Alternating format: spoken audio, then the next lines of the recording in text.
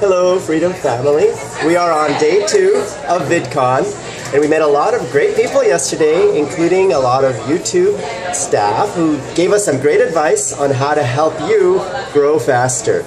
Part of that is a new release of Heartbeat 1.57, and I will go over all the comments that you left in my previous videos.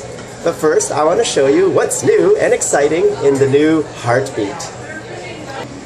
So here it is. As you can see, we launched a new annotation tool so you can copy annotations more easily.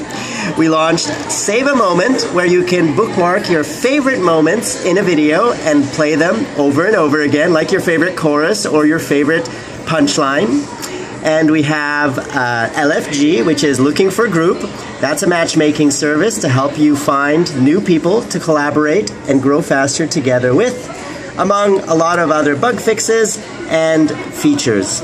So I hope you enjoy the new Heartbeat. To get it, just do a Google search for Heartbeat Chrome.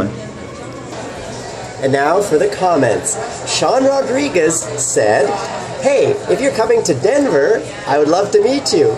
Well, sorry, Sean, I'm not planning to come to Denver, but I am planning to visit Alabama. Who out there are you in Alabama and would you like to meet up?